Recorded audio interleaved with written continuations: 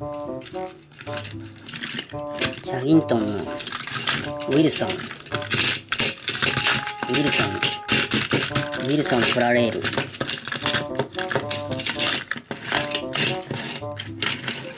ィルソン。ウィルソンのこのね、色が赤。赤です。この赤ってのも結構特徴的だよね、これ。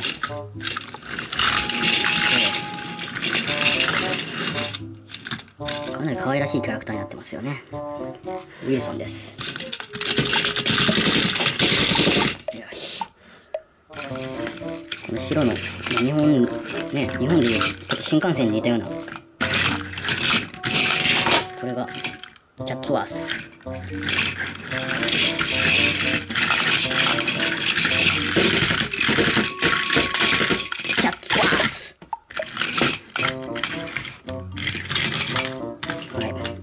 まあ形がこの2台似てるわけですけど、どこが違うかっていうと、この鼻の位置、高さ。ウィルソンの方がちょっとこう、鼻がついてるとこは丸みを帯びたとこにね、白い鼻がついてます。わかりますか？チャッツワースの方は、ウィルソンと比べてもらう。横から見てね、こう比べてもらうと、わかるんだけど、鼻がちょっと出てる。前向いて。ね、前向いて出てて、そして白にシルバー。シルバーの花がついてます。目玉の色も、チャッツワースはちょっと黒系、ブルーが入った黒系。で、このね、茶色の、こう、窓のところがメガネみたいな感じで、茶色の縁になってる。で、眉毛もシルバーみたいな、そういう形の顔ですね。ウィルソンの方は、メガネの縁みたいになってないんですね。比べてもらうとわかるんですけど。まあ顔の作りとしては結構似ていて、この眉毛の形なんかもちょっと、垂れてる、垂れ眉みたいな形で。ウィルソンの方も垂れ眉。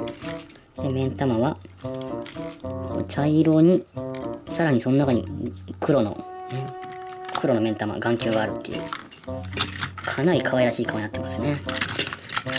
pretty face です。わかりますか？ pretty face。チャッツワース、ウィルソン、 pretty face。はい。今日はこの2台の紹介をちょっと突然してみたくなったんで、やってます。次はね、横の窓の感じ、こうしてみようか。ね。こっちはかなり違ってきますね。ウィルソンの場合、こっから出入りできるのかな？この、これドアになってますね、ここが。チャッツワースもここからできるんだと思うけど、ちょっとこのね、プラレールのこのおもちゃだけだと分かりかねるかなと。はい、そして、天井、天井じゃない、屋根の方。屋根の作りとしては、このね、換気するのかな？これがくるくる回って。チャッツワースの場合はこれが1つ、大きいのが1つ。ウィルソンは小さいのが3つ。はい。どっちがいいとかそういうのはちょっと私には分かりません。そして、このね、荷台、貨車。貨車が、まあ、ウィルソンは赤そのままで、レッドですね。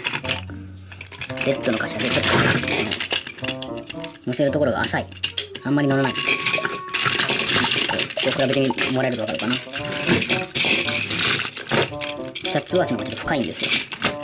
物を入れようと思ったらだいぶ入りますよ。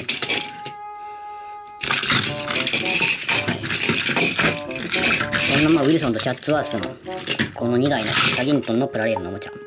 今日はこの2台を突然ちょっと紹介したりしてみました。